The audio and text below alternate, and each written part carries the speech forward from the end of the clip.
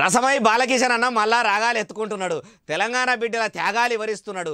అట్లనే మలి ముఖ్యమంత్రి రేవంత్ రెడ్డి సార్ను తెలంగాణ మాజీ కమలం పూపెబ్బ బండి సంజయ్ సార్ను.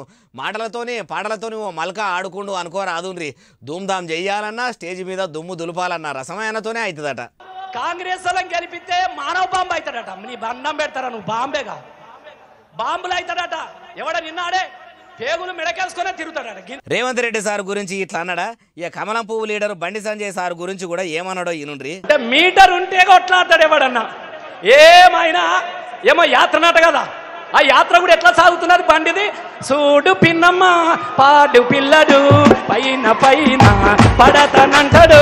ఇగో ఇట్లా రసమై సార్ వాడిన పాటకు బండి సంజయ్ సార్ పాదయాత్ర ఫోటోలను పెట్టి సోషల్ మీడియాలో స్క్రోల్ చేస్తుర్రు. రసమై బాలకిషన్ అన్న కరీంనగర్ కథనబేరిల కథలు బాగానే చెప్తున్నావు కానీ మీ కారు సర్కారు పాలన చక్కగా ఉంటే మిమ్మల్ని ప్రజలు ఎందుకు ఓడగొడతారు? చేతులు గాలినాక ఆకులు పట్టుకున్నట్టు మళ్ళా ఎగిరిదుంకుడు ఏందో? ఏమో ఏం రాజకీయాలు అంటారు రసమై అన్న రచ్చ చేస్తుంటే చూసినోళ్ళు.